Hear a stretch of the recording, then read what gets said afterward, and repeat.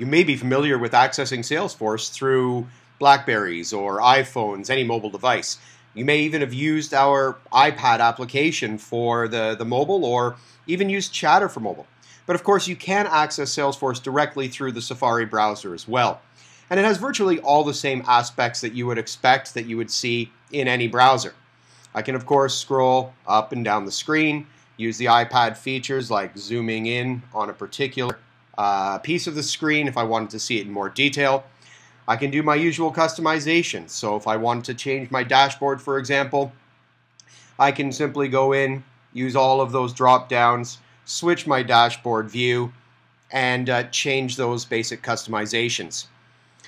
Of course, we can still access all of those common pieces, being able to drill into a pipeline to see the report that resides behind it, scrolling through that report and seeing all the information that's available to us, even modifying that report to go in and say, you know, rather than uh, just uh, all opportunities, just to see my opportunities only. So you can still use all of those pieces of customization that you're used to. Of course, all of the other pieces are still there from an administrative perspective. Being able to go into your setup area, creating custom fields, doing things on the fly, even managing your users and adding brand new users.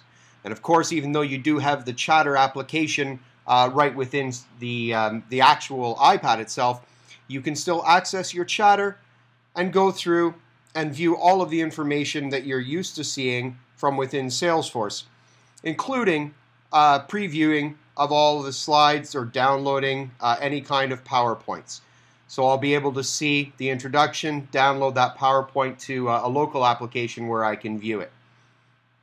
We'll be able to see all of the groups, activities, track people, follow different um, leads, accounts, contacts, and of course, any custom objects you may have created as well. So if I wanted to go into a, a custom app that we've created, that's fully accessible.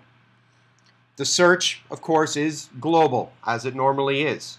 So I can now go in and do a search for one of my uh, uh, recent items, pop into that account, and it's fully accessible. The idea is you still have the access to a complete range of functionality within the Safari browser on the iPad.